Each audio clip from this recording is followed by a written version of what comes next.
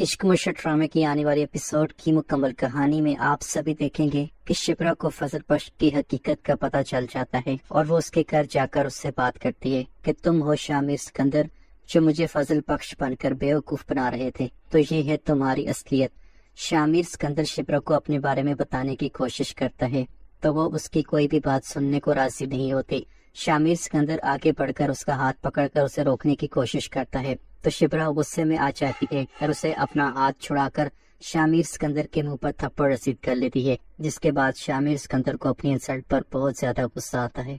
होता कुछ यूँ है कि शिबरा के लिए रिश्ता आता है तो वो रिश्ता इतना अच्छा होता है कि शिबरा के वालद साहब को काफ़ी ज़्यादा पसंद आता है, और शिबरा को भी किसी हद तक वो पसंद होता है।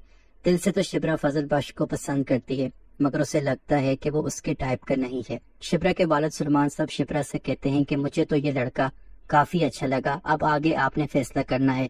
मगर शिबरा की माँ और सुकैना चाहती हैं कि शिबरा की शादी फजल बख्श के साथ हो। जब सुकैना को ये बात पता चलती है तो वो शामिर सिकंदर को सब बता देती है कि शिबरा के लिए काफ़ी अच्छा रिश्ता है और उसे कहती है कि तुम शिबरा से अपनी मोहब्बत का इस्कार कर लो, वरना सारी ज़िंदगी शिबरा को याद करके गुजारोगे। फजल बख्श शिबरा से मोहब्बत का इजहार करता है, मगर वो उसे ठुकरा लेती है और उसे खूब बातें सुनाती है। तो फजल बख्श शिप्रा का घर छोड़कर चला जाता है। जब काफ़ी दिन तक वो नज़र नहीं आता तो शिबरा उसके लिए परेशान होती है। तो सुकैना शिबरा को फजल बख्श के बारे में सब कुछ बता देती है कि फजल बख्श कोई आम आदमी नहीं, वो दाऊद सिकंदर का बेटा शामिर सिकंदर है। शिबरा को ये बात जानकर बहुत गुस्सा आता है कि मतलब वो अभी तक हमें धोखा देता रहा है। तभी वो शामिर सिकंदर के घर जाकर उसके मुँह पर थप्पड़ रसीद कर लेती है।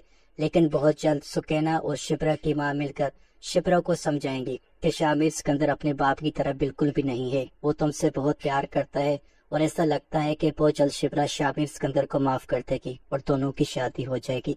आपको क्या लगता है कि शिप्रा शामिर सिकंदर को माफ़ करके उससे शादी करेगी या कि नहीं? आप लोगों ने अपनी कीमती राय के साथ कमेंट सेक्शन में ज़रूर करना है। और मजीद ये कि अगर आप घर बैठ कर ऑनलाइन अर्निंग करना चाहते हैं